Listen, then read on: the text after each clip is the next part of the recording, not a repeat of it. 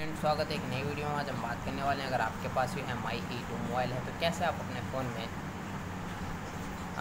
Keyboard language को change कर सकते हैं? तो आज की वीडियो में यही सिखाएँगे और इस चैनल पर पहली बार आए हैं तो चैनल को सब्सक्राइब लाइक बेल आइकन के बटन ज़रूर दबा दें, ताकि आने वाले वीडियो का नोटिफिकेशन आपको मिलता रहे। और किसी भी फ़ोन से रिलेटेड कोई जानकारी चाहिए व्हाट्सअप से रिलेटेड इंस्टाग्राम से रिलेटेड की फ़ोन से रिलेटेड गेम से रिलेटेड कोई भी जानकारी चाहिए तो आप हमें कमेंट्स करके बता सकते हैं, नहीं तो आपको वीडियो के डिस्क्रिप्शन में लिंक मिल जाएगा, आप वहाँ से भी प्रॉब्लम को सॉल्व कर सकते हैं। तो आपको ऊपर की तरफ़ स्क्रॉल कर लेना है। स्क्रॉल करने के बाद आपको सेटिंग्स पर क्लिक कर देना है। उसके बाद जो है आपको सबसे टॉप में इस पर क्लिक कर देना है, सर्च सेटिंग्स पर। उसके बाद जो है आपको कीबोर्ड को ओपन कर लेना है। कहीं से भी कर सकते हैं व्हाट्सअप इंस्टाग्राम फेसबुक से। कीबोर्ड को ओपन कर लेना है, सबसे टॉप में लेफ़्ट साइड में इस पर क्लिक कर देना है लैंग्वेज पर क्लिक कर देना है, उसके बाद आपको ऊपर की तरफ़ स्क्रॉल कर लेना है और उसके बाद आपको सबसे नीचे क्लिक कर देना है।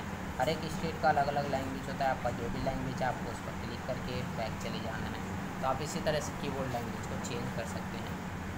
तो आज की वीडियो में आपने सीख लिया कीबोर्ड लैंग्वेज को कैसे चेंज करते हैं। और हमारे वीडियो देखने के लिए शेयर सब्सक्राइब लाइक बेल के बटन ज़रूर दबा दें, ताकि आने वाले वीडियो का नोटिफिकेशन आपको मिलता रहे।